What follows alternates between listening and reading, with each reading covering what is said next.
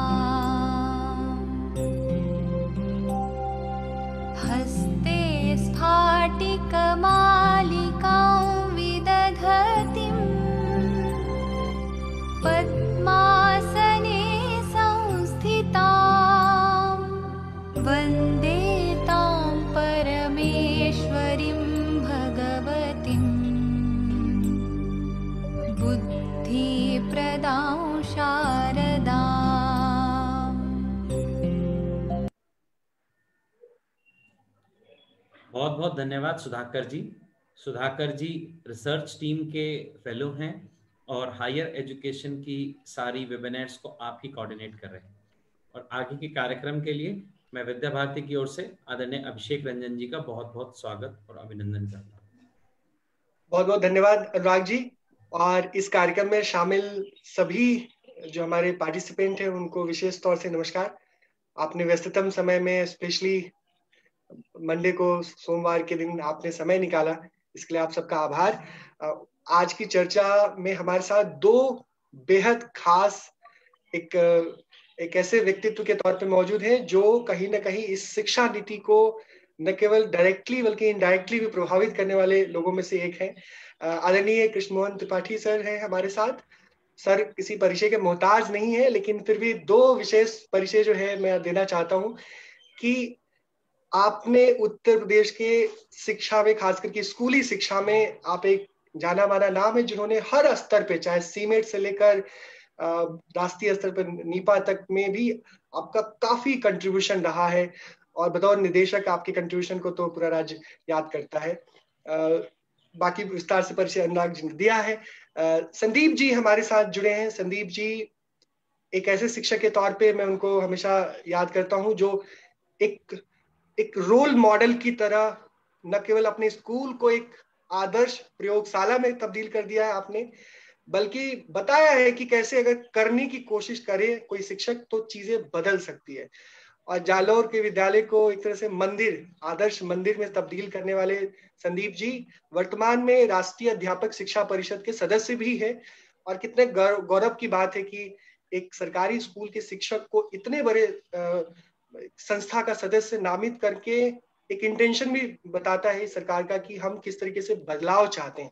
तो बहुत बहुत आभार आप दोनों का और मैं भूमिका न बांधते हुए, क्योंकि हम दोनों वक्ताओं को सुनना चाहते हैं। मैं आज की बातचीत की शुरुआत आदरणीय कृष्णमोहन त्रिपाठी सर से करना चाहूँगा कि सर, ये जो आज का विषय है, स्कूल कॉम्प्लेक्स इस विषय पे एक ओपनिंग रिमार्क के ज़रिए हम, आप बातचीत की शुरुआत करेंगे और हम सबका मार्गदर्शन करेंगे कि क्या सोचकर स्कूल कॉम्प्लेक्स के विषय को लाया गया था, क्या इसके पीछे की रणनीति है और कैसे ये शिक्षा क्षेत्र में बदलाव को लाएगा। आदरणीय त्रिपाठी सर। सर, आपकी माइक म्यूट है।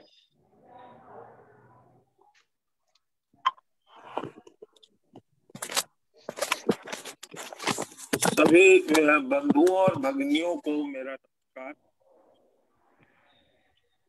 ये राष्ट्रीय शिक्षा नीति एक अहम बदलाव के रूप में हमारे सम्मुख है। वस्तुतः ये जो विद्यालय, संकुल या स्कूल कॉम्प्लेक्स की योजना कोठारी कमीशन 1964-66 में रिकमेंडेशन के तौर पे किया गया था। और उस समय इसको लागू करने में, मैं समझता हूँ कि पूरी तरह से कोताही बरती गई है और ये योजना लागू नहीं हो सकी, प्रभावी नहीं हो सकी। एक गवर्नेंस मॉडल हम बहुत सारे छोटे छोटे स्कूल देखते हैं। हम देखते हैं कि विद्यालयों के बहुत ऐसे अट्ठाईस प्रतिशत विद्यालय है प्राइमरी स्कूल जो जिनमें छात्र संख्या तीस से कम ऐसे चौदह प्रतिशत उच्च प्राथमिक विद्यालय है अपर प्राइमरी स्कूल है, जिनमें और भी संख्या कम है, चौदह बच्चे। तो इस तरह से ये छोटे छोटे स्कूलों में इंफ्रास्ट्रक्चर के साथ साथ अध्यापक, विषयवार अध्यापकों की तैनाती। Music teacher physical education teacher laboratories libraries इन सब का प्रभावी ढंग से उपलब्धता सुनिश्चित करने की दृष्टि से एक नया गवर्नेंस मॉडल एक नया सपोर्ट सिस्टम क्रिएट किया गया। वस्तुतः जहाँ आसपास की एक पेरिफेरी में लगभग 10 से 15 किलोमीटर की दूरी पर एक सीनियर सेकेंडरी स्कूल जो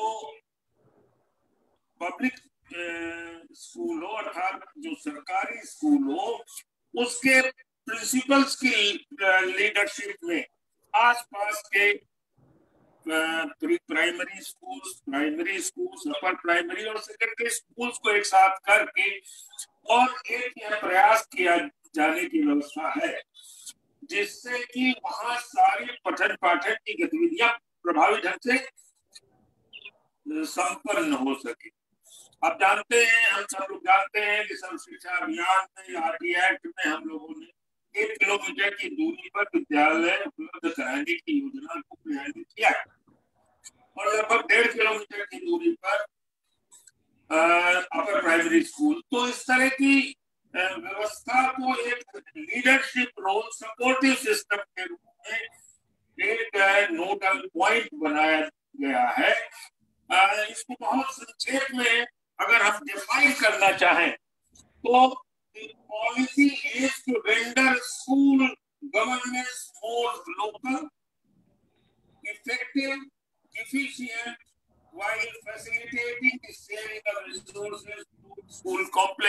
hmm. वहाँ पर एक सारे संसाधन उपलब्ध हो लाइब्रेरी उपलब्ध हो एक्सपर्ट टीचर उपलब्ध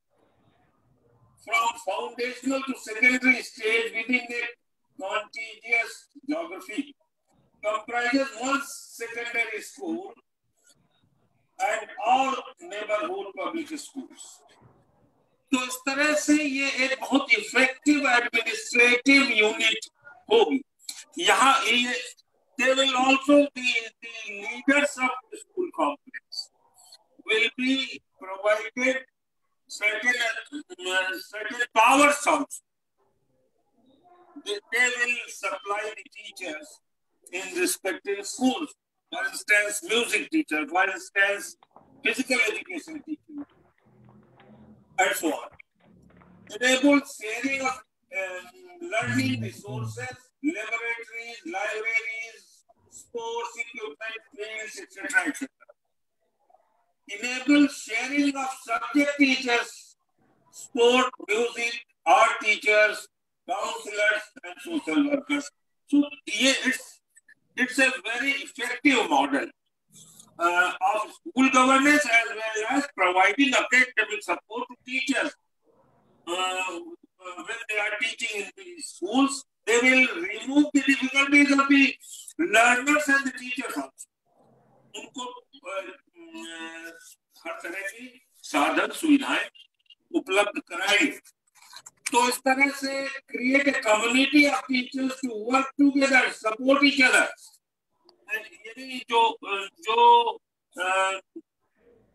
कम होगा जो सीखने की वृत्ति होगी वो आपस में टीचर एक दूसरे की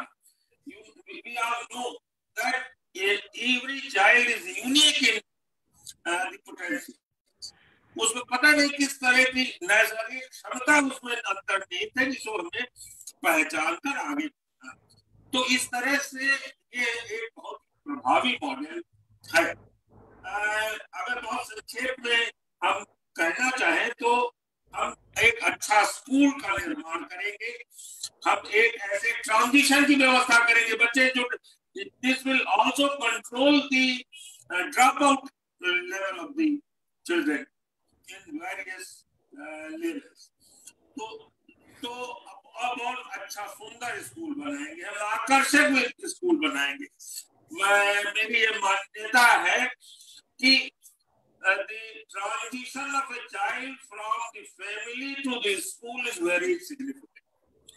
वो बहुत बहुत महत्वपूर्ण है बच्चे का विद्यालय जब घर से विद्यालय में आता है तो उसका जो ट्रांजिशन है, उसकी जो वेलकमिंग है, उसकी जो एक्सेप्टेंस है, उसकी जो पहचान है, वो बहुत महत्वपूर्ण है और विद्यालय के विद्यालय में उसके आगे बढ़ने, उसकी नैसर्गिक क्षमता की पहचान करने, उसे आगे बढ़ाने में बहुत सहायक होती है।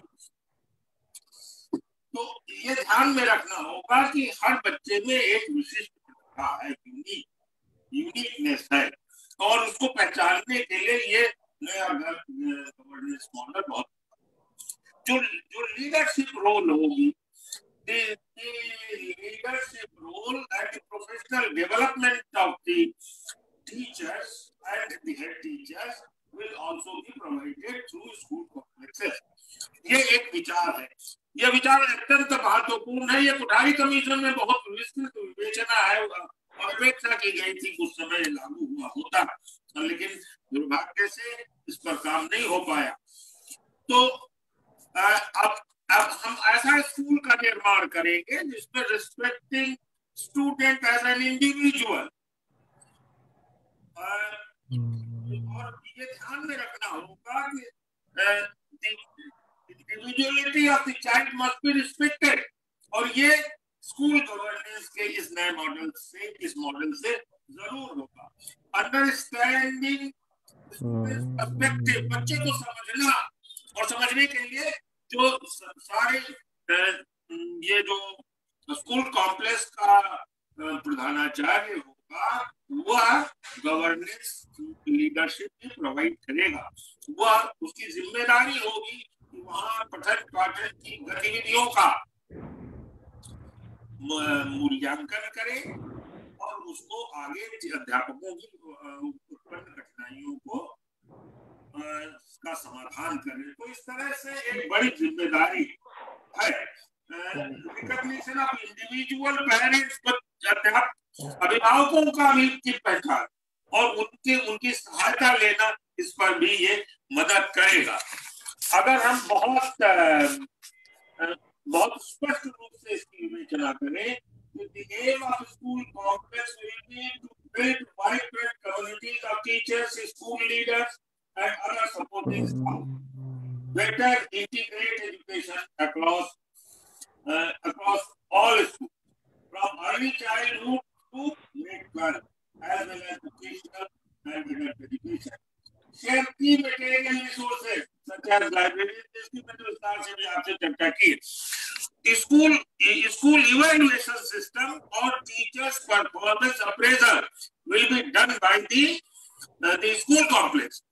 so all the experts, uh, existing experts, and other subject experts will also provide uh, provide guidance, support to the teachers and, and remove the difficulties of learning to hazardous. Uh, they will be removed by the expert. So all the, the counselors will be also be made available at the level of school complex.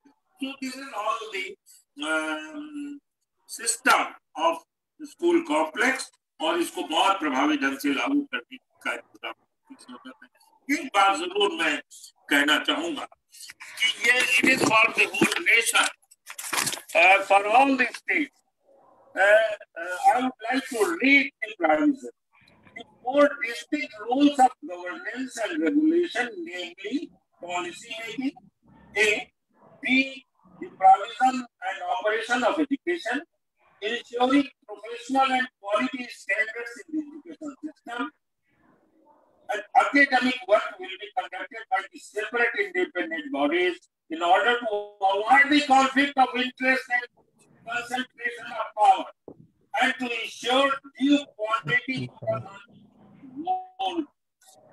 तरह से ये जो चार बहुत सारे राज्यों में ये देखा गया है कि एक, ये कॉन्फ्लिक्ट ऑफ़ इंटरेस्ट होता है।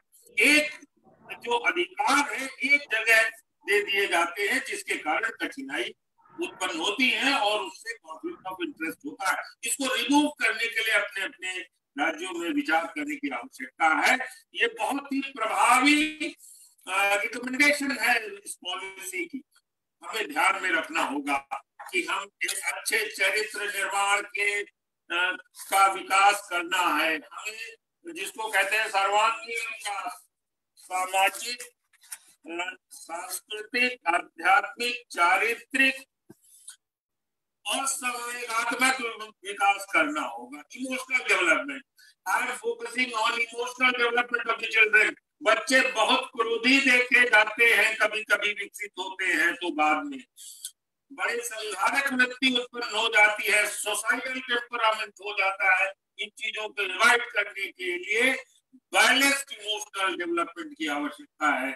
क्रोध प्रेम, घृणा ईर्षा जैसे इनका, इन, ऐसे विचारों का संतुलित विकास करने की आवश्यकता है। इस पर हमारे गुरुजनों को और विशेष करके स्कूल कॉम्प्लेक्स के लीडरशिप रोल में विशेष रूप से ध्यान देना होगा, जिससे ऐसे नैतिक चरित्र के व्यक्तियों का विकास, बच्चों का विकास हो, जो भावी पीढ़ी को आगे ले जा सके। मैं बहुत ज़्यादा समय नहीं क्योंकि समय की सीमाएँ हैं। इसलिए अच्छे इंसान का निर्माण, अच्छे व्यक्तियों का निर्माण, अच्छे नागरिकों का निर्माण, जो अपने देश में राष्ट्रीय भावना के साथ साथ उत्तरदायित्व और अपने कर्तव्यों के पालन में सक्षम बन सके ऐसे भक्त चरित्र के लोगों करना है। और इसके लिए हमें अपने पिछले इतिहास को, प्राचीन इतिहास को प्राचीन दार्शनिक भूमि को करना होगा धन्यवाद।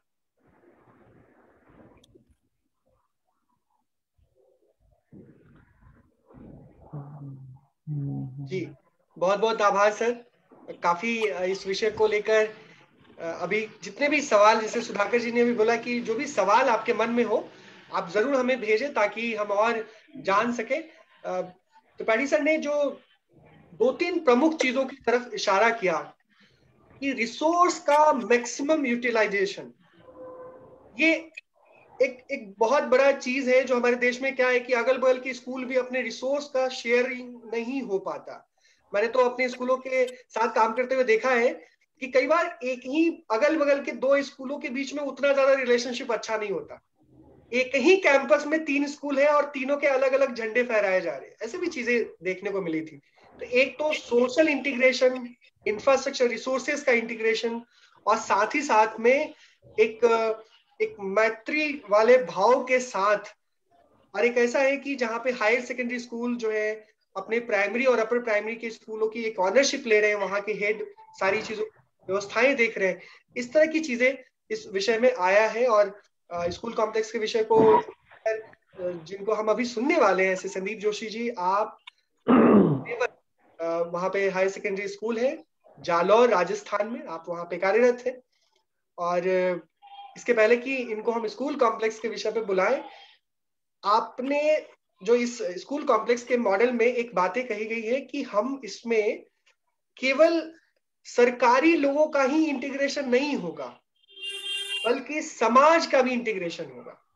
समाज, चाहे वो सोशल वर्कर्स हो, समाज के बाकी के हिस्से हो, उनको भी कहीं ना कहीं इस स्कूल कॉम्प्लेक्स के चीज़ों में ऐड करने की कोशिश की गई है। उनको भी इन्वॉल्व करने की कोशिश की गई है। तो केवल सरकारी रिसोर्सेस नहीं इस्तेमाल होंगे, सब लोग मिल के नहीं काम करेंगे, बल्कि समाज भी इसका एक हिस्सा बनेगा।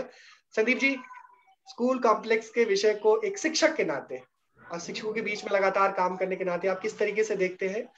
और हमारे साथ जो जुड़े लोग हैं, उनको, उनका मार्गदर्शन। नमस्ते अभिषेक जी, बहुत आभार आपका। विद्या भारती उच्च शिक्षण संस्थान का भी हार्दिक आभार। विद्यालय शिक्षा से जुड़े एक महत्वपूर्ण विषय पर चर्चा के लिए आवाज़ साफ़ आ रही है ना? बिल्कुल आ रही है। जी स्कूल कॉम्प्लेक्स एक शिक्षक के रूप में कैसे देखता हूँ मैं तो मुझे याद आया अभी सुनते सुनते ही आज एक विशेष शिक्षक का स्मृति दिवस भी है। आदरणीय यशवंत राव जी केलकर आज सात दिसंबर के दिन ही उनकी पुण्यतिथि भी है और उनका एक क्वेश्चन स्कूल कॉम्प्लेक्स में एकदम सटीक बैठता है। वे कहा करते थे हम सभी अपूर्णांक हैं। और मिलकर पूर्णांक बनते हैं। तो स्कूल कॉम्प्लेक्स भी कुछ कुछ ऐसा ही है। सारी स्कूलें अपने आप में अपूर्णांक है। और जब मिलेगी तो एक प्रकार से पूर्णांक को प्राप्त करेगी। तो यशवंत राव जी की बात इस स्कूल कॉम्प्लेक्स के अवसर पर मुझे एकदम याद आई। एक कहानी भी हम सबने सुनी है बचपन में। बहुत छोटे संक्षेप में उसको पेश करना चाहूँगा। एक कोई व्यक्ति अंधा था, एक व्यक्ति पैरों से दिव्यांग था, विकलांग था। किसी गाँव में आग लग गई, उन दोनों को निकलना था। तो जो अंधा था, मगर पैर मज़बूत थे तो लगना व्यक्ति उसके ऊपर बैठ गया। और एक दूसरे को मार्गदर्शन करते हुए आगे बढ़ चले। तो जैसा त्रिपाठी जी ने प्रारंभ में कहा था, हमारे देश में लगभग 28 प्रतिशत प्राथमिक स्कूल ऐसी है जहाँ पर नामांकन 30 से कम है। और लगभग 14 परसेंट स्कूल ऐसी भी है उच्च प्राथमिक स्तर की आठवीं तक की, जहाँ पर नामांकन 25-30 का ही है। आठवीं तक स्कूल है और हर कक्षा के अंदर पाँच बच्चे भी नहीं है। ऐसा ही एक पक्ष ये भी है कि देश के लगभग एक लाख स्कूल ऐसे हैं जहाँ पर एकल शिक्षक है। बच्चे बहुत सारे हैं, मगर शिक्षक एक ही है। तो स्कूल कॉम्प्लेक्स ऐसी सब प्रकार की समस्याओं का समाधान करने के लिए उन्नीस में विचार किया गया होगा। और ठीक प्रकार से आगे बढ़े, संस्थानों का भी उपयोग हो और साथ साथ जो मुख्य विषय है, शिक्षक की प्रतिभा, उसका भी उपयोग हो। तो धरातल के ऊपर जो अगर इसका विचार करते हैं तो हमारे राजस्थान में पिछली सरकार ने एक ऐसा प्रयोग किया था पीईओ व्यवस्था के आधार पर। हर ग्राम पंचायत स्तर पर एक अधिकारी बिठाया, और ग्राम पंचायत लेवल पर जितने स्कूल है, उनको मिला दिया गया है। राजस्थान चल रहा है ये। इसको विद्युत स्कूल कॉम्प्लेक्स माना जाए, नहीं माना जाए, एक विषय हो सकता है, मगर अभी हमारे यहाँ जो प्रैक्टिकल चल रहा है, वह एक व्यवस्था है। एक ग्राम पंचायत लेवल की सारी स्कूलें आपस में जुड़ी हुई है। उनके ऊपर एक ही अधिकारी है पीईओ नाम से। उस ग्राम पंचायत में पाँच, सात, दस जितने भी स्कूल है, उनके सारे स्टाफ की सर्विस बुक एक जगह पर है। उसमें हमको लाभ ये होता है, मान लो एक आध किसी स्कूल में गणित के कोई शिक्षक है, वो महीने भर के लिए मेडिकल पे चले गए। या विज्ञान के एक शिक्षक की कहीं पोस्ट खाली है तो उसी पीओ लेवल से हम बुला लेते हैं। या हमको कोई जाना हम कहीं चले जाते हैं? आपस में एडजस्टमेंट तो बहुत बड़े लेवल पर, जिला स्तर पर, राज्य स्तर पर इसकी चर्चा करने की आवश्यकता नहीं पड़ती। और पीओ जो अधिकारी है वो अपने लेवल पर, ये शिक्षकों का समायोजन तो अभी हम कर रहे हैं, ये चल रहा है। पर नई शिक्षा नीति में जो बात की गई है, बहुत उपयोगी बातें बहुत महत्वपूर्ण बातें हैं। क्योंकि वे विद्यार्थी के सर्वांगीण विकास की बात करती है, जो स्वामी विवेकानंद जी ने या गांधी जी ने कहा कि शिक्षा से हमारा आज से बालक के मन, बुद्धि, शरीर, आत्मा का विकास करना है। तो उसके लिए जितने संसाधन चाहिए होंगे वो सारे संसाधन हर स्कूल तक पहुँच पाए संभव नहीं है। हर स्कूल में पच्चीस तीस हज़ार पुस्तकों की लाइब्रेरी हो संभव नहीं है। किंतु हर पीईओ लेवल पर, ग्राम पंचायत लेवल पर या स्कूल कॉम्प्लेक्स लेवल पर यह संभव है। इसी दौरान चर्चा करते हुए मुझे एक अच्छा उदाहरण और याद आया। गुजरात के अंदर अहमदाबाद में एक स्कूल है प्राइवेट स्कूल है, गुरुकुल है। आचार्य हेमचंद्राचार्य स्कूल निजी स्कूल है, गुरुकुल है। उसकी खास बात यह है कि पचास बच्चों पर 150 अध्यापक हैं। तो मैं जब देखने गया, मुझे बड़ा आश्चर्य हुआ। पचास बच्चे हैं और 150 अध्यापक हैं। तो पूरे करते क्या होंगे? मगर वो 150 अध्यापक रोज नहीं आ रहे हैं। होता क्या, संगीत के भी 25 अध्यापक उनके पास, तबले का अलग है, हारमोनियम का अलग है, गिटार का अलग है, वीणा का अलग है। टाइम टेबल सेट किया हुआ है तो शिक्षक तो एक ही है, किंतु वो सप्ताह में एक या दो पीरियड लेने वहाँ आते हैं।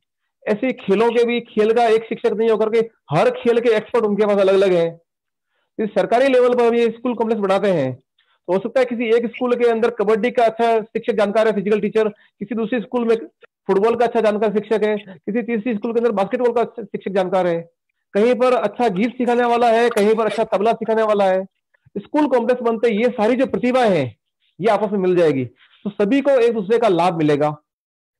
अध्ययन की दृष्टि से भी, पाठ्यक्रम सहगामी क्रियाओं की दृष्टि से भी, जिनको नई शिक्षा नीति में सहगामी क्रिया माना ही नहीं गया उनको कहा गया शिक्षा क्रिया ही है। सहगामी जैसा नहीं, ये वास्तव में खेलकूद या संगीत या कला, ये सारा शिक्षा का ही भाग है, ये अतिरिक्त भाग नहीं है। तो वो एक जोड़ लिया तो एक अच्छा लाभ मिल जाएगा।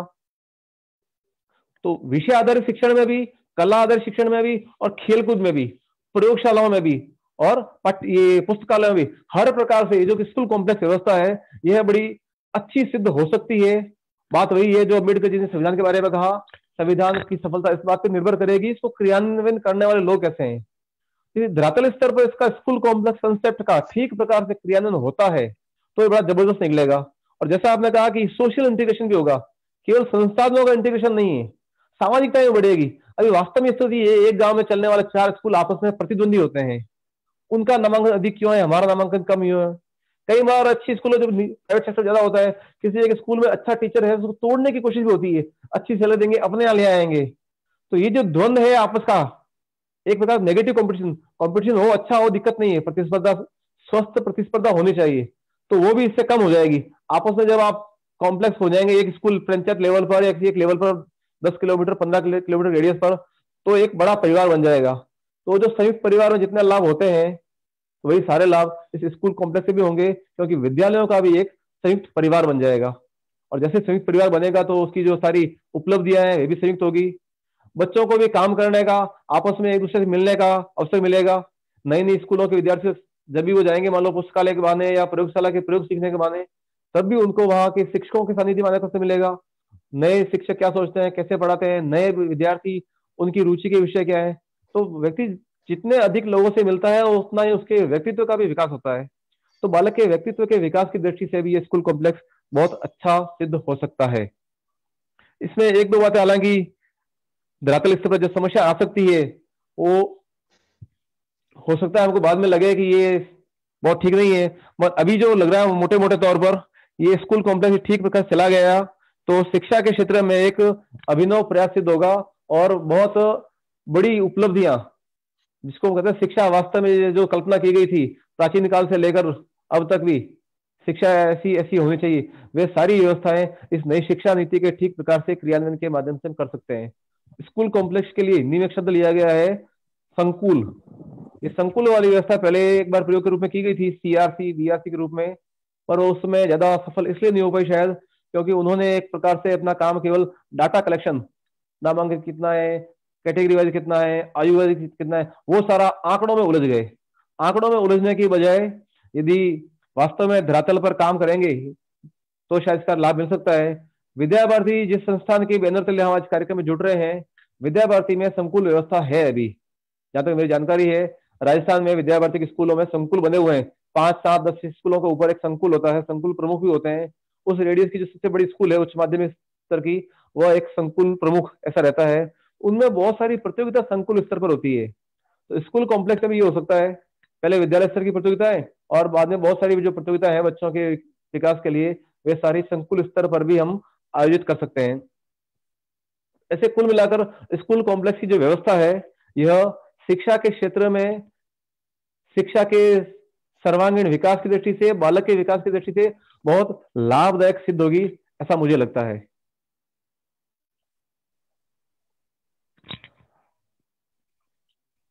और कुछ बातचीत है तो अपन चर्चा इधर आगे बढ़ा सकते हैं इसे।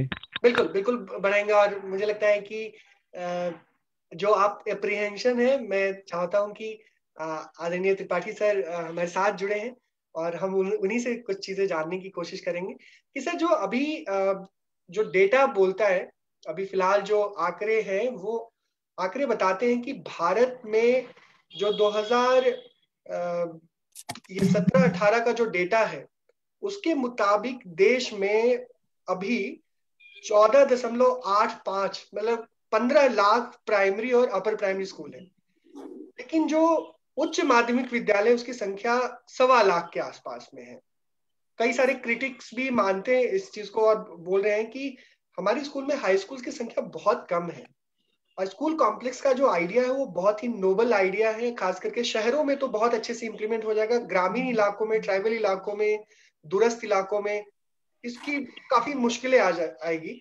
सर, इस पे काफ़ी चर्चा हुई होगी और आप तो स्कूल एजुकेशन से जुड़े हैं तो निश्चित तौर से इस पे बहुत विस्तार से सोचा समझा गया होगा।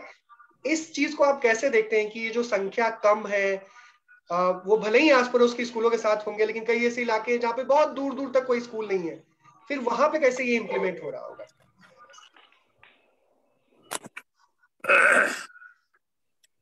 हमारे ख्याल से आवाज़ आ रही है? जी सर जी सर आ रही है। राष्ट्रीय माध्यमिक शिक्षा अभियान जो समग्र शिक्षा अभियान जी। उसमें ये नज़र है कि सेवन टू टेन किलोमीटर की रेडियस में एक सेकेंडरी उसकी कोशिशें हो गई। उसमें इधर काफ़ी विस्तार एक्सेस बढ़ाया गया। दूसरे ये ये संकल्पना नहीं है कि केवल विद्यालय स्कूल कॉम्प्लेक्स लेवल पे जाएगा school complex uh, mobile point will also go to the school. They will provide services. They will support the teachers. They will bring the children to their own um, uh, efforts. So the, the, children and the teachers will come to the uh, school complex level. So there, there will be no difficulty if you uh, start this program effectively with uh, governmental support system. It will definitely give results because the leadership role at the school complex is very significant the leadership, the professional development of teachers is very important. Sending those teachers, uh, expert teachers like uh, music teacher, like uh, uh, other subject teachers, uh, like uh, the sport teacher, they will have, they will go to the school. I think in, in the present context, the distances of school schools is not more than 10 to 20 kilometers. So the, the, the expert teachers will go to the uh, school and they will provide their support and guidance to the teachers. So it's a very effective model. Uh, let it start. There may be some difficulty in very, very few areas, in very remote areas. So we try to overcome those difficulties. सारा ध्यान हमें इस बात पे देना है कि बच्चों का निर्माण हो उसमें कैसे हम जिज्ञासा कौशल विकसित करें ज़्यादा से ज़्यादा बच्चे सीख सके उनमें सीखने के प्रति उत्सुकता हो अध्यापकों में उनके प्रति जिज्ञासा शांत करने की अभिरुचि उत्पन्न करें। अगर आप चर्चा करने तो मैं इस समय का लाभ उठाते हुए ज़रूर ये कहना चाहूँगा, विद्यार्थियों को कम उम्र में सही करने के महत्व को सिखाया जाएगा। थ्रू दिस मॉडल क्या ठीक है, क्या नहीं ठीक है? क्या उचित और अनुचित का विवेक उत्पन्न करने का समय होता है? ये जो जो एडोलेसेंट पीरियड और चाइल्डहुड है, इसमें बच्चों को अच्छी बातें, अच्छी बुनियाद, अच्छी प्रैक्टिस डालने की आवश्यकता होती है। And that role will be done by the school complex तो उनमें कैसे कैसे हिंसा से दूर रहना, कैसे अपने उत्तरदायित्व को समझना, कैसे पारस्परिक सहयोग की भावना उत्पन्न करना कैसे राष्ट्रीय भावना का उनमें, उन्मेष करना, ये बहुत आवश्यक चीज़ें होती हैं। और ये सब स्कूल कॉम्प्लेक्स के माध्यम से संभव है। जैसा मैंने आपसे ये कहा कि आपको गवर्नेंस मॉडल बदलना पड़ेगा। जो एग्जिस्टिंग गवर्नेंस मॉडल है inspectorate system inspectorial system super supervisory system that the supervisors and the have to play the role of friend, philosopher and guide. They will provide support. And the difficulties of those areas uh, where the dropout uh, is more than the normal uh, average of the nation. We will have to make uh, concerted efforts there.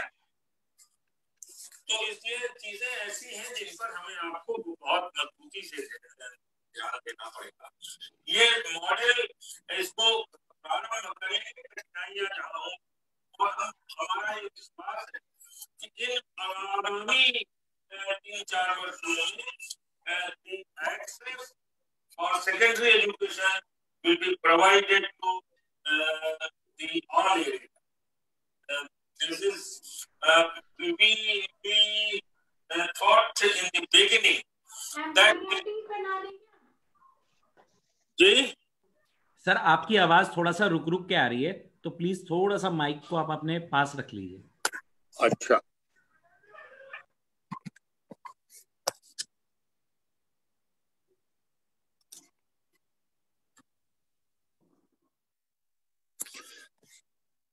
हाँ। तो हमारी ये सरकार है कि secondary school हमारे norm के हिसाब से सेवन सात से दस किलोमीटर के अंदर अवश्य एक्सेस मिल जाए। तो ये सारी कोशिश है, इसलिए ये ये मॉडल बहुत इफ़ेक्टिव होगा। ऐसा भरोसा है और ऐसी उम्मीद की जाती है। और कोठारी कमीशन ने बहुत ही राइटली सजेस्ट किया था। और उस समय हम नहीं कर पाए, क्योंकि हमारे पास ऐसे विद्यालयों की संख्या बहुत कम थी। तो ये ये हमारा गवर्नेंस मॉडल बहुत अच्छा होगा, ऐसी उम्मीद है और इसको प्रभावी ढंग से लागू करने की चेष्टा करनी चाहिए। Thank you so much sir और इससे जुड़ा एक और सवाल है, लेकिन मैं उस सवाल पे बाद में आऊँगा कि कैसे क्योंकि शिक्षा जो है एक राज्य का विशेषाधिकार है, एक तरफ़ ज़्यादातर स्कूल जो है राज्य सरकार के अधीन है, और हर राज्य में ये जो स्कूल कॉम्प्लेक्स का जो अभी एग्जिस्टिंग मॉडल एक डिफरेंट तरीके से, जैसे यूपी में अगर कहें तो क्लस्टर सिस्टम है जहाँ पे एनपीआरसी सर्वे सर्वा होते हैं स्कूलों के लेवल पे। अगर आप मध्य प्रदेश में देखेंगे तो वहाँ पे हायर सेकेंडरी स्कूल के जो प्रिंसिपल होते हैं वही क्लस्टर के सारे सर्वे सर्वा होते हैं। इनफैक्ट वो हर चीज़ में उनकी दखल होती है। तो ये डिफरेंट डिफरेंट स्ट्रक्चर वो कैसे इंपैक्ट करता है उस पर थोड़ा आपका मार्गदर्शन चाहेंगे। लेकिन इससे पहले मैं संदीप जी से जानना चाहता हूँ कि सर स्कूल कॉम्प्लेक्स के इस आइडिया में आंगनवाड़ी केंद्रों को इंक्लूड किया गया है। उसमें ये भी बातें की गई है और जैसे खास करके आप देख रहे हैं कि अर्ली चाइल्डहुड एजुकेशन पे काफ़ी फोकस किया है इस new education national education policy और देश में लगभग चौदह लाख के आसपास में आंगनवाड़ी केंद्र चल रहे हैं। आंगनवाड़ी केंद्र को स्कूल के परिसर में ही लाने की कोशिश की, इस तरह की रिकमेंडेशंस भी आए हैं। स्कूल कॉम्प्लेक्स के दायरे में देखते हुए आप कैसे देखते हैं कि anganwadi school primary school upper primary school इसका इंटीग्रेशन और प्लस स्कूल कॉम्प्लेक्स का जो रिसोर्स का मैक्सिमम यूटिलाइजेशन का जो कॉन्सेप्ट है इस दोनों के बीच के संबंधों को आप किस तरीके से देखते हैं? इससे क्या प्रभाव देखने को मिलेगा? अभिषेक जी सामान्यतः धरातल पर अभी जो स्थिति है आंगनबाड़ी केंद्रों की जी। वे केवल पोषाहार खिलाने के केंद्र के रूप में बने हुए हैं। बच्चे आते हैं और जो भी खाना बनता है खा लेते हैं। बहुत कम जगह होगी जहाँ कुछ पढ़ाई होती है। कुछ खेलना कूदना होता है या बच्चे आते हैं बस चले जाते हैं। स्कूल कॉम्प्लेक्स के दायरे में आने से कई जगह तो स्कूल परिसर में आंगनबाड़ी आ जाएगी ये भी प्रस्ताव है। बड़े स्कूल जो हो स्कूल के परिसर में ही आंगनबाड़ी चले और परिसर में नहीं तो कम से कम स्कूल कॉम्प्लेक्स में चलने से उनकी मॉनिटरिंग एक तो अच्छी हो पाएगी। दूसरा आंगनबाड़ी केंद्र वास्तव में जो इस बात की चर्चा की गई राष्ट्रीय शिक्षा नीति में कि बालक के सीखने की जो मैक्सिमम उम्र है वो छह आठ साल तक की है। और अब तक ये जो आयु थी उसकी क्रिएटिविटी की, ये आयु शिक्षा के दायरे से बाहर थी। वो ऐसे निकल रही थी। तो अब स्कूल कॉम्प्लेक्स के कारण से या स्कूल के दायरे में आने से आंगनबाड़ी केंद्र, वहाँ शिक्षा जिसको कहते हैं, वो भी कुछ प्रारंभ हो पाएगी। और वर्तमान में जो पाठ्य पुस्तक का स्वरूप है, वो पहली कक्षा से ऐसा बना हुआ है कि बच्चा लगातार वो किताबें पढ़ना ही सीख रहा है। पहली कक्षा में आजकल वर्णमाला या अल्फ़ाबेट नहीं आते हैं सीधे पाठ आते हैं। आंगनबाड़ी केंद्र शिक्षा केंद्र रूप में चलेंगे, कुछ ना कुछ वहाँ भी शिक्षा का प्रारंभ हो जाएगा।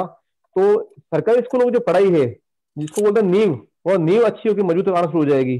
स्कूल कॉम्प्लेक्स के कारण से शिक्षकों का आवाज़ आना शुरू हो जाएगा।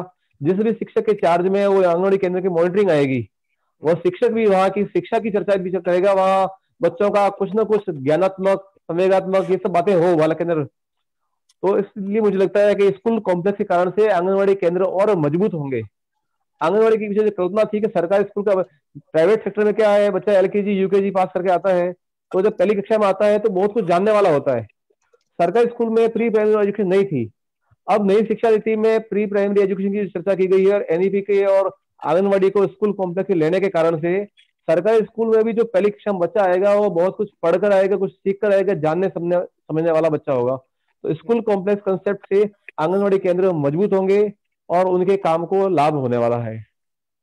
बिल्कुल बिल्कुल। ये ये महत्वपूर्ण चीज़ है और स्कूल कॉम्प्लेक्स के आइडिया से हमें आ, इस चीज़ के लेकर भी काफ़ी एक्साइटमेंट है कि जो छोटे बच्चे जिसके बारे में आप बता रहे थे कि न्यूट्रिशन और मैं तो बोलता हूँ थोड़ा एक स्टेप और आगे जाके बोलूँ कि पोषाहार के साथ साथ में बच्चों को इंगेज कैसे किया जाए? इंगेजमेंट तो न्यूट्रिशन आइटम जो देते हैं लोग अपने घर के लिए बच्चों को देते हैं और मनोरंजन।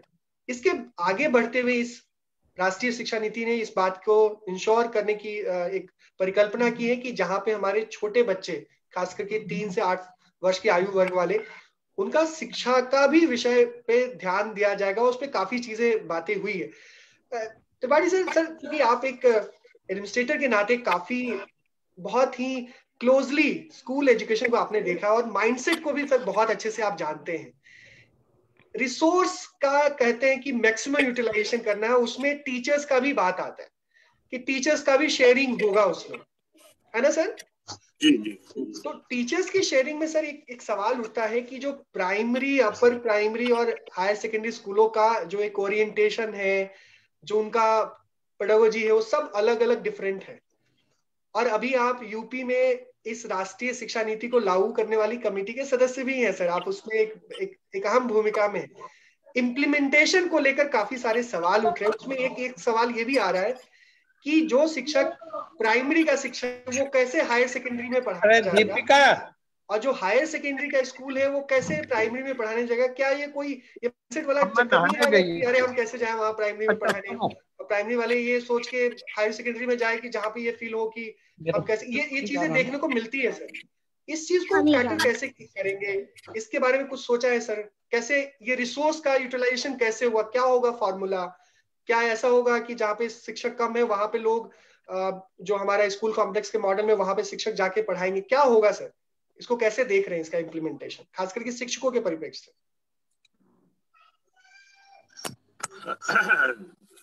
अभिषेक जी बहुत अच्छे सवाल हैं आपके। और आपने प्रारंभ में कहा था कि राज्यों का राज्यों का नहीं आप जानते हैं काम कॉन्करेंट जी सर आपकी आवाज़ नहीं आ रही शिक्षा शिक्षा कॉन्करेंट लिस्ट में है। बिल्कुल बिल्कुल। तो जब कॉन्करेंट लिस्ट में है तो गवर्नमेंट ऑफ़ इंडिया को के लिए ये आवश्यक है कि वो इसकी मॉनिटरिंग करें। पॉलिसी देखिए, आप जानते हैं, मुझे कहना नहीं चाहिए नौकरशाही परिवर्तन के पक्ष में नहीं होती है। नौकरशाही वाली होती है। वो करना चाहती है? और चेंजेस नहीं करना चाहती है। लेकिन ये काम हम लीडरशिप का है। जो वहाँ कितना प्रभावकारी हो रहा है, किस सीमा तक लागू किया गया जहाँ तक ये आपकी बात है कि सेकेंडरी स्कूल टीचर कैसे। एक्चुअली जो रिसोर्स सपोर्ट है resource will be provided at the school level ये बहुत ज़रूरी नहीं है कि एग्जिस्टिंग गाइड गाइड सिस्टम चालू रहे। ये एग्जिस्टिंग गाइड सिस्टम ये इट मे बी रिप्लेस्ड वहाँ जो एक्सपर्ट्स हैं पेडागोजी के, वहाँ जो टीचिंग लर्निंग के सर्विस ट्रेनिंग के एक्सपर्ट्स हैं, जो सपोर्ट है they they should be attached with the school complex उनको समय समय पे उनकी ज़िम्मेदारी होगी। तो जो जिसको आप कह रहे हैं कि मैक्सिमम रिसोर्स का यूटिलाइजेशन हो। जिसको कहते हैं इंस्टीट्यूशनल प्लानिंग यही तो है। Resources को करें तो हमको इंस्टीट्यूशनल प्लानिंग के ज़रिए ये ध्यान में रखना है जो जितना भी हमारे पास कोई इस तरह का अलगाव नहीं है कि ये यहाँ नहीं जा सकते हैं दे हैव टू गो और जो अभी आप उत्तर प्रदेश या अन्य राज्यों की बात कर रहे थे कि यहाँ जो वर्तमान हमने अभी पिछले दिनों एक सवाल उठाया। कि क्या बात है कि हमने सब कुछ दिया हमने टीचर्स दिए हमने स्कूल बिल्डिंग दी है हमने सफ़ाई दी है हम पैसे भी देते हैं हमने इलेक्ट्रिसिटी भी दिया सब कुछ दिया पढ़ाई नहीं हो रही है क्या लर्निंग अचीवमेंट नहीं बढ़ रहा? वजह क्या है? उन कारणों का अध्ययन करना है ज़रूरी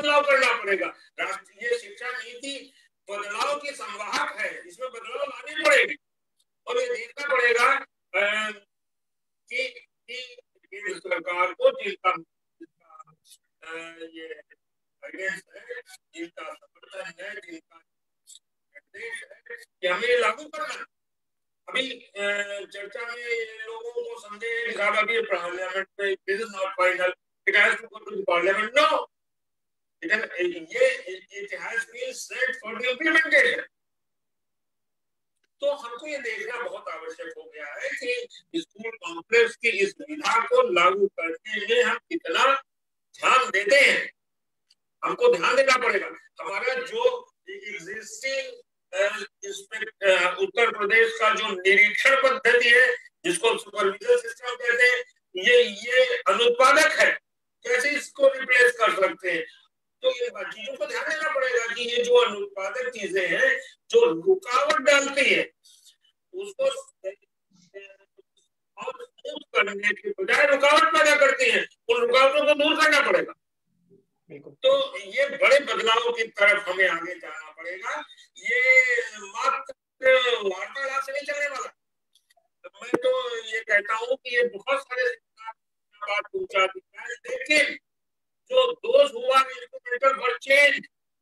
अगर अगर if they are not responsible they are not audited कितना किया क्या बदलाव हो?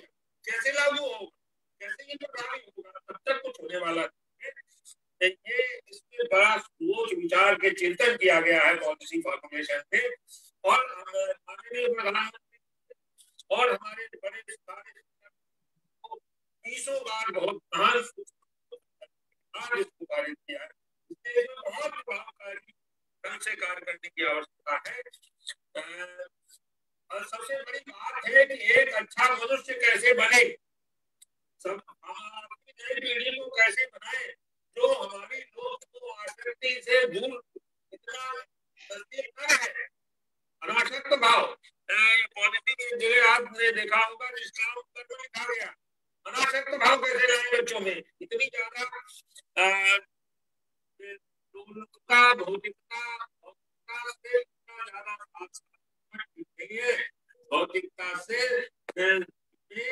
आगे बढ़ने के साथ साथ हमको ध्यान में रखना होगा कि हमें इस अपने जो हमारा प्राचीन शाश्वत संदेश है उसको कैसे आगे बढ़ाए बिल्कुल कि हम हम लोगों की सहायता करें, दूसरों की मदद करें ये तंबाकू के सेवन से दूर रहे, हम बुरी आदतों से कैसे दूर रहे, ये चीज़ें लानी पड़ेगी नई पीढ़ी के निर्माण। और मैं समझता हूँ कि इसको इम्प्रेस अपान करना पड़ेगा आपके लोगों को कि हम कैसे इस प्रभावकारी परिवर्तन के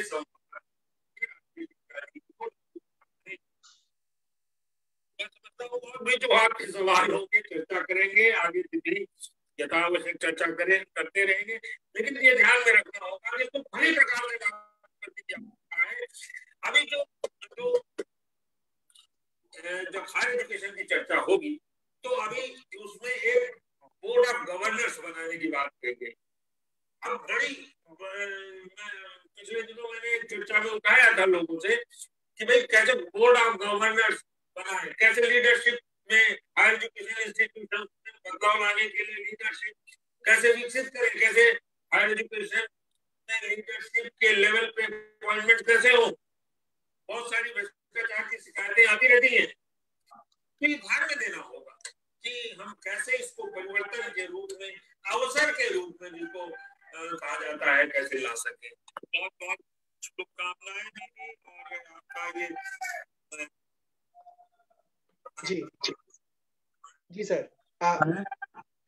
महत्वपूर्ण विषय आपने रखा और आ, मैं चाहता हूँ कि जो लोग हमारे क्योंकि ये सच में कॉम्प्लेक्स विषय है स्कूल कॉम्प्लेक्स जो है बहुत आसान नहीं है और बहुत आसानी से नहीं समझ में आने वाला विषय है।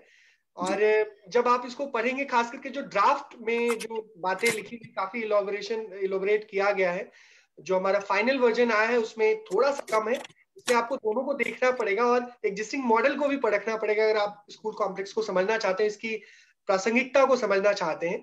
मेरा एक सवाल संदीप से और आ, मैं चाहूँगा कि मैं इसलिए सवाल पूछ रहा हूँ क्योंकि आ, मैं बाकियों से भी आग्रह कर रहा हूँ कि अगर आपके मन में कोई सवाल है स्कूल कॉम्प्लेक्स को लेकर दो हमारे साथ वक्ता मौजूद है और दोनों लोग इस चीज़ के साथ काफ़ी इंटीग्रेटेड है बहुत दिनों से काम कर रहे हैं इस पे सोच रहे हैं। तो मुझे बहुत खुशी होगी कि अगर आपके कुछ सवाल हमारे पास आएँगे। जब तक आपके सवाल आते हैं संदीप जी से एक सवाल है कि सर स्कूल कॉम्प्लेक्स में जैसे सर ने बताया त्रिपाठी सर ने कि ये केवल स्कूल का ही कॉम्प्लेक्स नहीं, एक सोशल भी एक यू नो सोसाइटी को भी इंटीग्रेट करने की बातें की गई है। स्कूलों का इंटीग्रेशन ही नहीं है सोसाइटी का भी इंटीग्रेशन है। और दूसरी तरफ़ हम ये देखते हैं, जो एग्जिस्टिंग मॉडल है, उसमें सोसाइटी का बहुत कम पार्टिसिपेशन है। भारत में मान्यता है कि शिक्षा समाज का विषय होना चाहिए, और इसलिए ट्रस्टीशिप के मॉडल पे भारत के तमाम स्कूल 80 के दशक तक चलते रहे अब इस जो राष्ट्रीय शिक्षा नीति है, उसमें समाज की भूमिका को बहुत जगह दी गई है। हर चीज़ में समाज को एक एक प्रासंगिक बनाने की कोशिश की। केवल ब्यूरोक्रेटिक सिस्टम से चीज़ें नहीं चलेगी, केवल शिक्षक नहीं स्कूल को चलाएँगे, समाज भी रहेगा शामिल। आप इस चीज़ को बदलाव को किस तरीके से देखते हैं और क्या लगता है बतौर शिक्षक की क्या करने की ज़रूरत है? क्या ऐसे बिहेवियर वाला पार्ट देखते हैं? क्या एक्शनेबल पार्ट देखते हैं कि करने की ज़रूरत है ताकि सच में इस स्कूल कॉम्प्लेक्स के मॉडल को हम एक फलीभूत होता हुआ देख पाए। अभिषेक जी जब जागो तो सवेरा ऐसा कहा जाता है। तो शायद अंग्रेज़ों के आने से पहले देश में शिक्षा विभाग जैसी कोई चीज़ नहीं थी। शिक्षा समाज आधारित ही रही है। और सामान्य रूप से देखें तो जो गुरुकुल पद्धति है उसके बाद की जो पद्धति है वो शिक्षा निजी क्षेत्र के हाथों में बहुत रही है। शिक्षा समाज से जुड़ी रही लगातार और समाज ही शिक्षा का शिक्षकों का पालन पोषण करता रहा है। इसलिए एक बीच में दौर आया था जब शिक्षा पूरी तरह सरकारीकृत हो गई थी। और 2020 में फिर एक राष्ट्रीय शिक्षा नीति के माध्यम से शिक्षा समाज व्यापी हो रहा है और समाज शिक्षा व्यापी हो रहा है। दोनों का अंतर संबंध प्रगाढ़ होने जा रहा है तो ये बहुत अच्छा है। उसको बहुत पॉजिटिव रूप में लेना चाहिए कि भारतीय शिक्षा जिसकी दुनिया भर में मान्यता रही है वह भारतीय शिक्षा पुनः अपने गौरव को प्राप्त करेगी। बीच के काल में जब समाज शिक्षा से दूर हुआ, शिक्षा की सारी व्यवस्थाएँ सरकारी तंत्र के भरोसे डाल दी गई तो बहुत गिरावटें भी आई है। शिक्षा विभाग जैसी ऑफिशियल कंसेप्ट होने से पहले देश में शिक्षा के जो आंकड़े रहे हैं, आदरणीय धर्मपाल जी ने जो लिखे आंकड़े, भारतीय शिक्षा का स्वर्णिम वृक्ष तो 1830 के आसपास देश की साक्षरता संतानवे प्रतिशत है ninety seven percent literacy rate है हमारे यहाँ की। वो तब थी जब शिक्षा समाज आधारित थी। बीच में ये सब होने के कारण से 1947 में हमारी साक्षरता सत्रह परसेंट तक भी आई है और फिर बढ़ी है। और जैसे ही शिक्षा में समाज का इन्वॉल्वमेंट बढ़ेगा तो शिक्षा को भी लाभ होगा, समाज को भी लाभ होगा। क्योंकि तो विद्यालय वास्तव में सामाजिक चेतना के केंद्र है, होने ही चाहिए। समाज में जितना बदलाव होना है वह सब विद्यालयों के रास्ते से होकर ही गुजरेगा। अब तक बहुत सारे प्रयत्न किए गए होंगे, मगर सफल नहीं हुए या कम सफल हुए। कारण ये रहा है कि उस में शिक्षा को गौण किया गया। शिक्षा को केवल व्हाइट कॉलर जॉब तक छोड़ दिया गया। अब नई इस नीति के अंतर्गत एक बात कही, बड़ी ज़बरदस्त बात की गई है कौशल विकास की। जब कौशल विकास करना है तो कौशल विकास के इतने प्रकार के अध्यापक हर स्कूल में होंगे, ज़रूर नहीं है। किंतु हर बच्चे के लिए अभी सेंट्रल लेवल पर ऑर्डर भी आ गया है, सप्ताह में, महीने में दस दिन बिना बैग के पढ़ना है। महीने में दस दिन बिना बैग के पढ़ना, अर्थात क्या करना है तो कौशल विकास करना है। कौशल विकास कहाँ करेगा वो? तो समाज में करने वाला है। समाज में कोई व्यक्ति टेलरिंग का कार्य करता है तो उसको बुलाकर सीखना है या उसके वहाँ जाकर सीखना है? चाहे मूर्ति बनाने का कार्य हो, चाहे शिल्प कला का कार्य है, चाहे लकड़ी का कार्य है, चाहे मकान निर्माण का कार्य जितने प्रकार की कलाएँ हैं, वो सभी समाज आधारित होने वाली है। इसलिए समाज का इन्वॉल्वमेंट शिक्षा में ज़बरदस्त बढ़ेगा। समाज अपनी ज़िम्मेदारी समझेगा।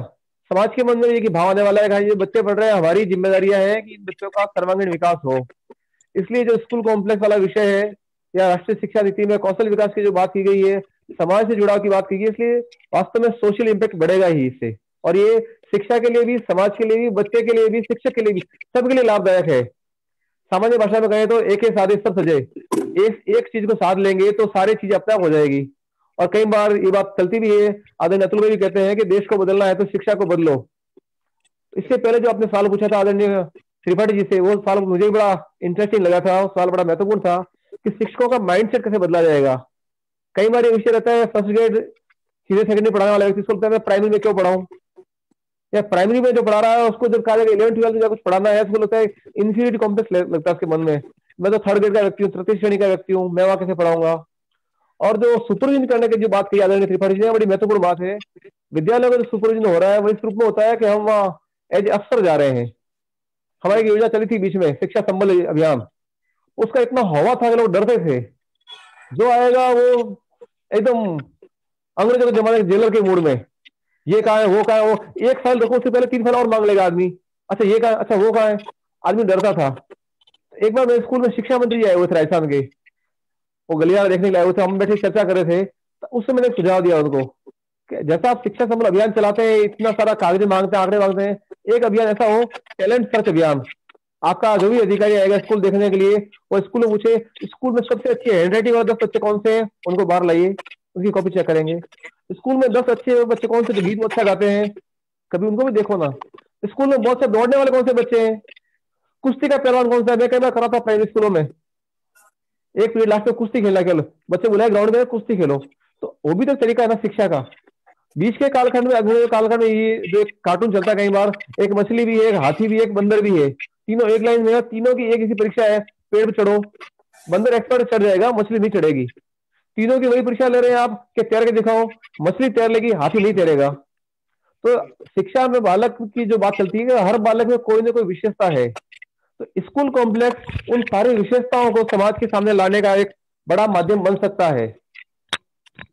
और अनेक जो विशेषता है बालकों की, वो सब इस माध्यम से बाहर आएगी। जब हम शिक्षा का दृष्टिकोण व्यापक करेंगे, शिक्षा केवल अक्षर ज्ञान नहीं है, शिक्षा केवल बसता ही नहीं है। सिलेबस पूरा करना ही शिक्षा नहीं है।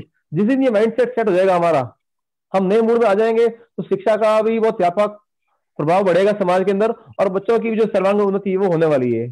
बिल्कुल। काफ़ी महत्वपूर्ण विषय संदीप जी, और सच कहें तो ये बहुत close to my heart type का है विषय कि जो हमारे मॉनिटरिंग एंड इवेल्युएशन की जो बातें होती है कि जो एक ऑफिसर जो इसके लिए रिक्रूट किए जाते हैं, जो अभी है एग्जिस्टिंग सिस्टम में वो उसमें से बहुत सारे लोग हैं जो इंस्पेक्टर की तरह बिहेव करते हैं।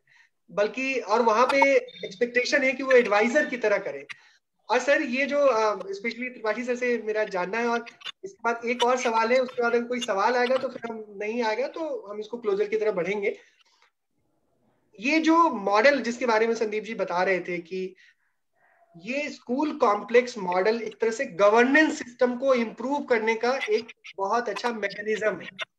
मैं इसको रिसोर्स की यूटिलाइजेशन ज़्यादा एक गवर्निंग सिस्टम को लोकल लेवल पे मज़बूत करने का एक सिस्टम मानता हूँ सर सर, एक और डिमांड उठ रही थी वो की कि शिक्षा में खास करके ये जो हम बोलते हैं ना मिडिल मैनेजर्स जिसको बोलते हैं, जो हमारे स्कूल के लीडर के अलावा चाहे वो क्लस्टर लेवल पे हो या वो हम इसको कॉम्प्लेक्स बोल सकते हैं स्कूल कॉम्प्लेक्स या ब्लॉक लेवल हो या डिस्ट्रिक्ट लेवल पे इसके लेवल पे जो गवर्नेंस मॉडल में जो लोग इन्वॉल्व हो रहे हैं, वो उनका एडमिनिस्ट्रेटिव माइंडसेट और प्लस एकेडमिक माइंडसेट होना बहुत ज़रूरी है। और एक डिमांड भी उठ रही थी कि देश में, जैसे यूपीएससी में अलग अलग लोगों का सिलेक्शन होता है, एक शिक्षा के लिए भी एक अलग संवर्ग हो राष्ट्रीय स्तर का। और वो रिस्पॉन्सिबल हो, कम से कम डिस्ट्रिक्ट लेवल के ऑफिसर को वही लोग हो। और जो क्लस्टर लेवल पे भी ब्लॉक लेवल पे भी हो जो कम से कम एडमिनिस्ट्रेशन के साथ साथ में एकेडमिक एक समझ रखता हो केवल वो कागज़ी बातें ना रखता हो। सर इसके राउंड में भी बहुत सारी बातें हुई होगी। आपका क्या थॉट है बारे में? चर्चा हुई थी क्या? क्यों नहीं माना गया? ये भी एक सवाल आ रहा था लोगों का। हाँ हेलो। जी जी जी सर। चर्चा हुई थी रिकमेंडेशन भी की गई थी लेकिन आप जानते हैं जो आवाज़ नहीं आ रही सर एग्जिस्टिंग आईएएस कम्युनिटी है वो नहीं चाहेगी कि ऐसा हो। जी। तो ये तो पिछली पॉलिसी में भी था कि शिक्षा आईईएस बनेगा। 1986 की पॉलिसी में but it it was not implemented और इस बार भी चर्चा हुई थी, लेकिन ये नहीं चाहते हैं ना। और भी बहुत ऐसी रिकमेंडेशन थी जो हट गई है कि जो ऊपर के लेवल पर एजुकेशन का आदमी दो लेवल पे जो सेक्रेटरी हो, वो टेक्नोक्रेट हो, वो चीज़ें कहने से कुछ फ़ायदा नहीं। देखिए, ये जो मिडिल मैन की बात की है, ये एक तरह का बहुत सिस्टम दूषित सिस्टम इसको रिमूव करना ये ध्यान में देना पड़ेगा कि ये जो ये सारे लोग हैं those who not academicians the the present concept is to provide academic support to teachers when they are facing any um, methodology difficulty or in any difficulty regarding the learning are those who are not uh, understanding the hard spots of the content, they should they support. The environment of providing support should be friendly, like, like, It should not be authoritarian. और जैसा अभी चर्चा की है, जोशी जी ने, कि जो वर्तमान में स्थिति है, वो वो पूछते जाता है, ये क्या ये कहा, हाजिरी? हाजिरी उतनी महत्वपूर्ण है जितना बच्चों के मध्य जो शिक्षा अधिगम का संवाद है, जो ट्रांजेक्शनल वो इम्पोर्टेंट है। वो अगर दो तीन घंटे पढ़ा देगा तो लग के बच्चों के साथ में और उनका उनकी कठिनाइयों का निराकरण कर देगा तो बेहतर होगा। हाजिरी पर उतना ज़ोर देने के बजाय हाजिरी तो शिक्षक अगर अच्छा शिक्षक बनाएँगे हाजिरी तो अपने आप होने वाली है। शिक्षक में कमिटमेंट ही पैदा करना प्रोफेशनल डेवलपमेंट है। We have to create commitment among teacher जो हमारे हमारे बच्चे को नहीं आता हमारी चिंता है आना चाहिए तो ये ना अभी बड़ी अच्छी बात कर रहे थे संदीप जी of education, nor it is the beginning. It is only the means when the men and women can be educated. शिक्षा देना उनको उदार चरिता उदार चरित्र बनाना उनके चिंतन को विकसित करना है उनमें सद्भावना पैदा करना है उनमें स्वतंत्रता समानता बंद परोपकार भाव पैदा करने, ये बच्चों में नई पीढ़ी में पैदा करने, उजागर करने, और ये ये जो हमारा स्कूल कॉम्प्लेक्स इसके ज़रिए हो सकता है। अगर मैं एक पैराग्राफ आपको पढ़ता हूँ, स्कूल कॉम्प्लेक्स क्लस्टर व्यवस्था से विद्यालयों का गवर्नेंस सुधरेगा, अधिक कुशल बनेगा।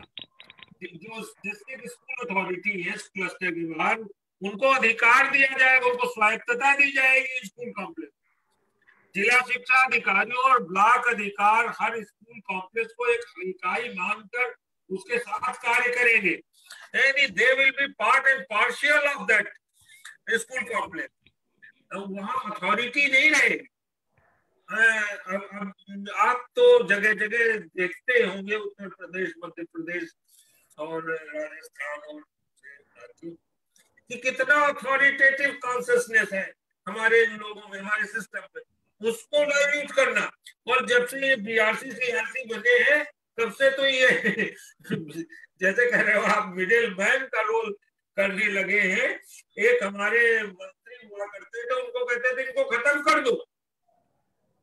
हुआ नहीं खत्म, क्योंकि वहाँ जो ऊपर से जो सिस्टम आ गया है, वही सब लागू होने वाला है।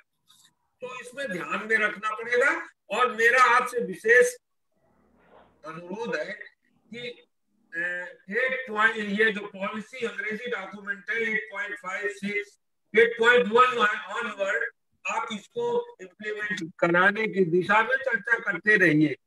बिल्कुल। सर एक आखिरी क्वेश्चन जो हम जानना चाहते हैं और ये बहुत ज़रूरी क्वेश्चन है कि सर राष्ट्रीय शिक्षा नीति केवल सरकारी स्कूलों की बात नहीं करती। नो नो नो बिल्कुल no. पूरा एक स्कूली सिस्टम की बात करती है और देश में पैंसठ फ़ीसदी स्कूल है सरकारी है बाकी के जो बच्चे हैं। वो प्राइवेट स्कूलों में जाते हैं।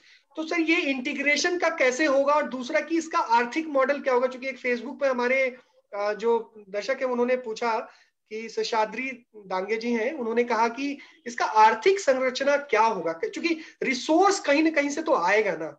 रिसोर्स नहीं रहेंगे और अभी भी रिसोर्स का मैं डेटा यहाँ पे बताना नहीं चाहता।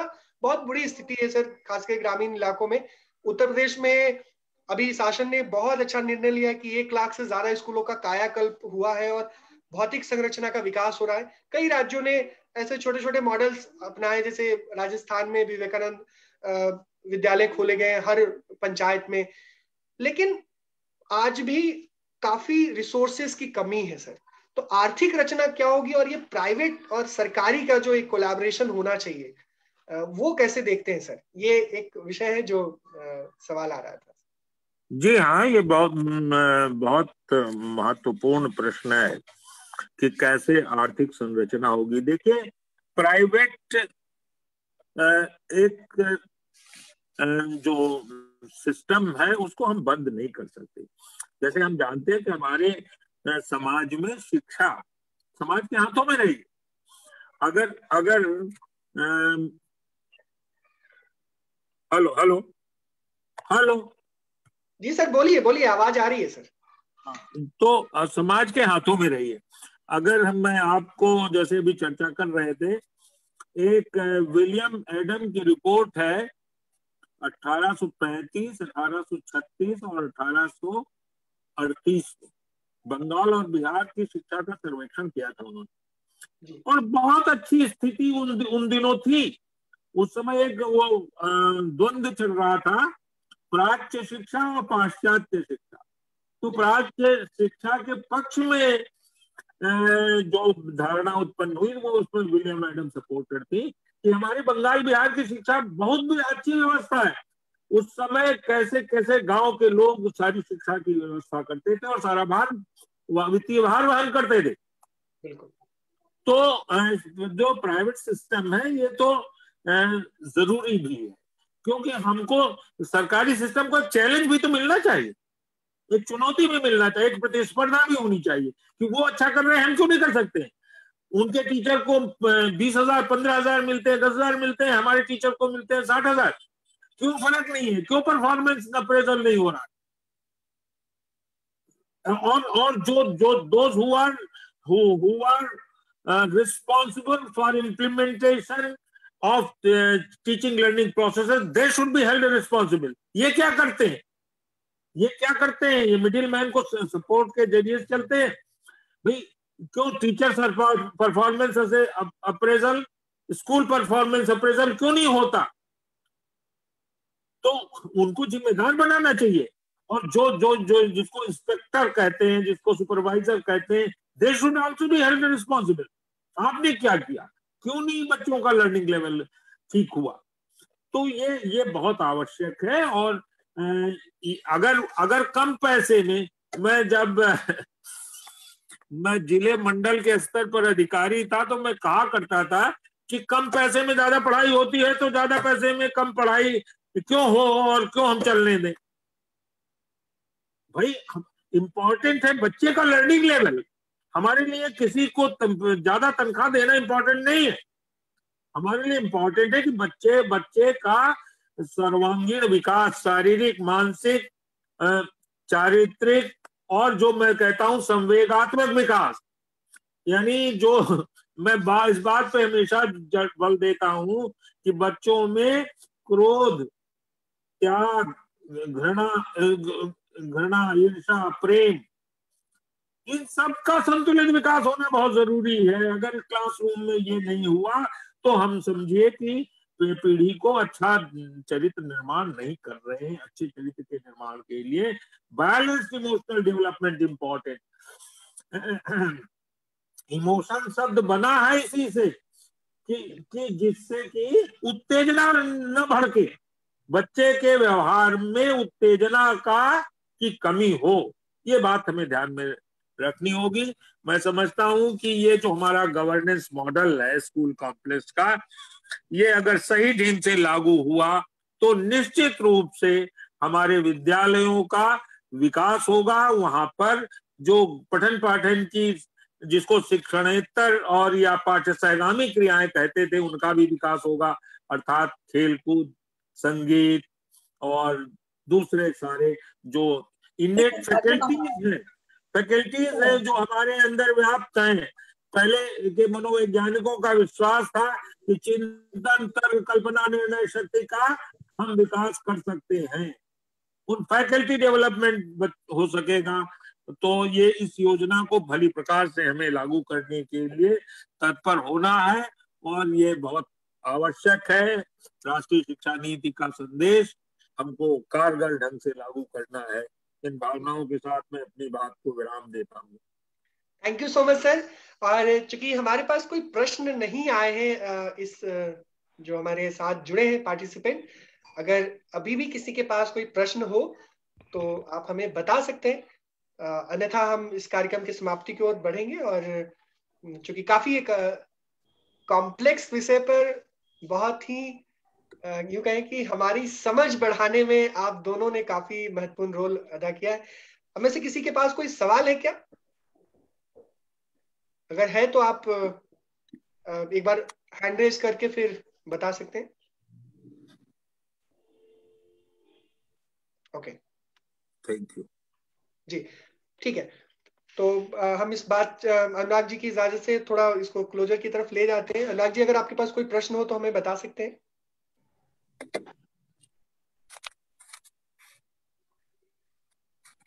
परफेक्ट स्कूल कॉम्प्लेक्स के एक बहुत ही एक महत्वपूर्ण विषय पर क्योंकि स्कूल, पूरे स्कूल एजुकेशन में, मुझे लगता है विद्यालय शिक्षा में स्कूल कॉम्प्लेक्स का एक बहुत बड़ा रोल होने वाला है इस न्यू एजुकेशन पॉलिसी जिसको राष्ट्रीय शिक्षा नीति के तौर पे हम जान रहे हैं अभी। और इसे एक बड़े बदलाव की बुनियाद रखी जानी है। मैं आपको एक चीज़ और बताना चाहता हूँ कि जब भी हम विद्यालय शिक्षा की बात करते हैं तो मैं प्राउडली बताना चाहता हूँ कि सरकार ने इस राष्ट्रीय शिक्षा नीति को लाने से पहले की जो पूर्व तैयारी है, वो की है।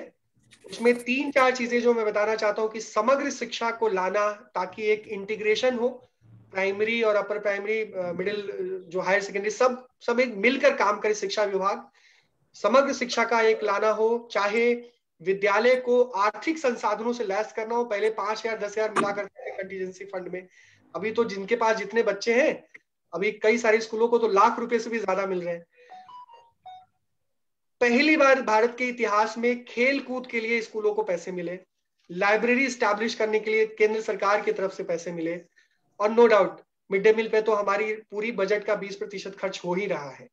इसके अलावा भी, चूँकि अभी नीति आयोग के जो कार्यक्रम चल रहा है एस्पिरेशनल डिस्ट्रिक्ट प्रोग्राम 112 जिलों में, हर स्कूलों में इलेक्ट्रिसिटी का कनेक्शन हो खास करके बारहवीं तक के स्कूलों में, उसको लेकर काफ़ी फोकस कर रहे हैं। ये तमाम चीज़ें जो हो रही हैं, साथ ही साथ में एक व्यवहारिक बदलाव की भी शुरुआत हो रही कई तरह के प्रयासों के माध्यम से, बेटी पढ़ाओ, बेटी बचाओ, तमाम जो अभियान चल रहे हैं समाज को भी इन्वॉल्व करने की कोशिशें हो रही है। इन सब का एक परिणाम स्कूल कॉम्प्लेक्स के इस आइडिया के साथ होने वाला है। बस ये है कि हम सब जिस जिस कैपेसिटी में है समाज का प्रबोधन करने में और स्कूल के सहयोगी के नाते मैं कई बार बोलता हूँ कि सरकारी स्कूलों को समर्थक चाहिए आज के दिन में खास करके और विद्यालय शिक्षा को समर्थक चाहिए। समर्थन मतलब आ, सोशल मीडिया का समर्थन नहीं। स्कूलों को सच में उनको विकास करने में उनका उनके साथ मिलने का और इसकी सरकार ने कई सारी स्कीम भी चलाए थे कई कार्यक्रम भी चलाए थे विद्यांजलि कार्यक्रम चलाया था जिसमें समाज के प्रबुद्ध लोगों से आग्रह किया गया था कि आप विद्यालयों के साथ जुड़े। तो हमें सबका एक संकल्प होना चाहिए कि इस राष्ट्रीय शिक्षा नीति को अच्छे से इम्प्लीमेंट करने में हम सहयोगी बने और विद्यालयों के साथी बने और सब साथी बन के इस कार्यक्रम को ये राष्ट्रीय शिक्षा नीति को हम सफल बनाएँगे और देश को विश्व गुरु बनाने का जो एक एक, एक संकल्प है, उसको हम उस दिशा में आगे बढ़ेंगे। मैं पुनः आभार करना चाहता हूँ विद्या भारती उच्च शिक्षण संस्थान का कि इस इस बातचीत को आयोजित करने में आपने मुझे मौका दिया। और सबसे ज़्यादा आभार आदरणीय त्रिपाठी सर का, आदरणीय संदीप जोशी जी का कि आपने समय निकाला और हम सबका प्रबोधन किया। और नो डाउट, ये जो हमारे साथ जितने भी पार्टिसिपेंट जुड़े थे, देश के अलग अलग भागों से, आप सभी का बहुत बहुत आभार। कि उम्मीद है कि ये चर्चा आपको सार्थक लगी होगी और कुछ ना कुछ ऐसे विषय भी ध्यान में आए होंगे जिन पे हम सबको साथ मिलकर सोचना करना है। ओवर टू अनुराग जी।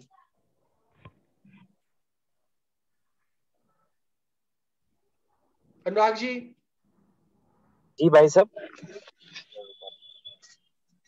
मुझे लगता है कि आज का जो हमारा सत्र रहा है वो आ, वो पूर्ण तरह से सक्सेसफुल है क्योंकि जिस टॉपिक पे अभी तक बहुत ज़्यादा चर्चाएँ इंटरनेट पे मैंने भी खंगाली, लेकिन स्कूल कॉम्प्लेक्स जैसे विषय पे भी बहुत ज़्यादा वेबिनार नहीं है। तो जो लोग आज हमारे साथ जुड़े हैं, मुझे लगता है इस स्पेशल टॉपिक की कहीं ना कहीं एक जानकारी हमें आदरणीय के एम त्रिपाठी जी और संदीप जोशी से मिल पाई। मैं विद्या भारती की ओर से जुड़े हुए सभी लोगों का बहुत बहुत हार्दिक धन्यवाद और अभिनंदन करता हूँ। और साथ ही साथ अभिषेक रंजन जी को भी धन्यवाद करता हूँ। आपने समय निकाला इस प्रोग्राम को मॉडरेट करने के लिए और इसी के साथ मैं धन्यवाद करता हूँ हमारे आज के स्पीकर आदरणीय संदीप जोशी जी का एवं के एम त्रिपाठी जी का। तो इन्हीं शब्दों के साथ आ, हम शांति मंत्र की ओर बढ़ेंगे। ओम सर्वे भवन्तु सुखिन सर्वे सन्तु निरामय। सर्वे भद्राणि पश्यन्तु मा कश्चित् दुर्भाग् भवेत्। ओम शांति शांति शांति। धन्यवाद थैंक यू अच्छा जी नमस्कार सभी को। सभी को नमस्ते। थैंक यू सो मच इस कार्यक्रम की वीडियो फेसबुक पे उपलब्ध है आप चाहे तो उसे शेयर भी कर सकते हैं। बिल्कुल Abhishek ji. Thank you thank you भाई साहब। नमस्कार